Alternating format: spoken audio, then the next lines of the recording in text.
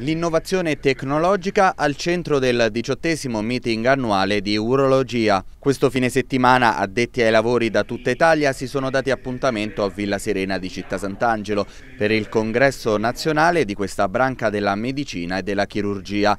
Quest'anno l'incontro è all'insegna della multidisciplinarietà.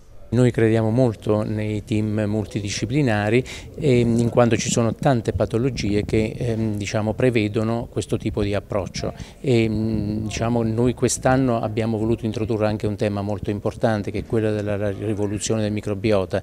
In pratica eh, sono, ehm, diciamo, il microbiota è molto importante in quanto la medicina basata su, eh, su di esso ha rivoluzionato un pochettino l'approccio la, eh, eh, diciamo, a livello medico.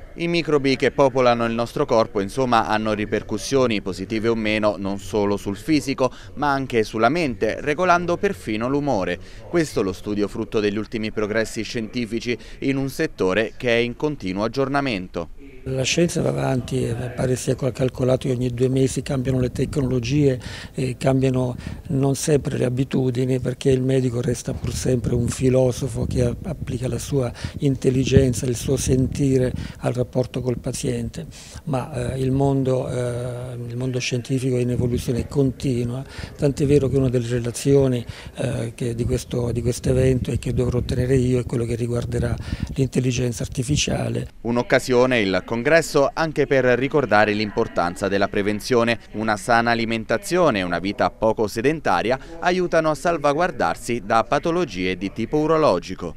L'urologia, eh, come tutte le, le, diciamo, le, le discipline del nostro, organismo, del nostro organismo, eh, si basa eh, sulla diagnosi, sulla terapia, ma prima ancora a monte di tutto sulla prevenzione delle, delle, patologie. Pensiamo per esempio alla classica patologia che tutti conosciamo che è la calcolosi urinaria, no? prevenzione che si basa eh, sia sull'alimentazione, soprattutto sull'alimentazione, sugli stili di vita, sul diciamo, evitare eh, abusi di, di, di, alcune sostanze e, e soprattutto fare una, una sana, una sana eh, vita.